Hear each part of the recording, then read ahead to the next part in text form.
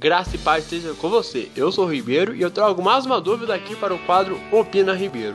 Caso você deseja participar desse quadro, comente abaixo desse vídeo ou em qualquer vídeo aqui do canal. Basta usar a hashtag Opina Ribeiro com a sua pergunta, que eu estarei trazendo a minha posição no próximo vídeo. E para esse vídeo eu quero trazer a pergunta do inscrito Castro Neves, que fez a seguinte questão. Hashtag Opina Ribeiro. Cristão pode acompanhar futebol como essa Copa do Mundo que acontece na Rússia? Estaria pecando a Deus se eu estiver torcendo para o Brasil? Abraços e parabéns pelo trabalho exemplar no canal. Muito obrigado, irmão Castro, pela sua opinião, pela sua pergunta, pelo carinho no seu comentário.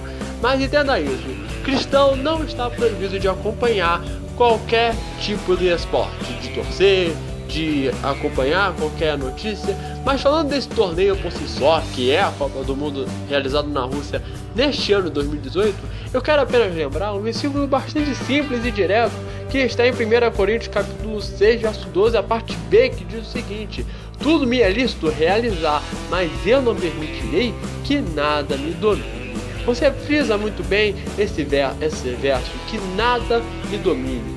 Desde que essa tal atividade, esse, esse torneio por si só não te prejudique, não afete a sua rotina, a sua responsabilidade com o nosso Deus, a sua intimidade com o nosso Criador, você pode curtir, comprar a camisa, camisa da seleção brasileira, comprar a bandeira do Brasil, como é o meu caso, enfeitar a sua casa, torcer com muita euforia, alegria com amigos e familiares, mantendo sempre com empolgação, mas sempre com moderação e cautela, para não fazer alguma atitude que desagrade ao nosso Deus e desagrade aos nossos próximos.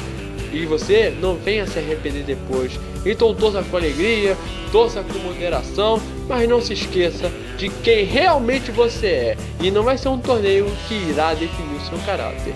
Um forte abraço e eu te aguardo na próxima quarta-feira às 4 horas da tarde. Graça e paz.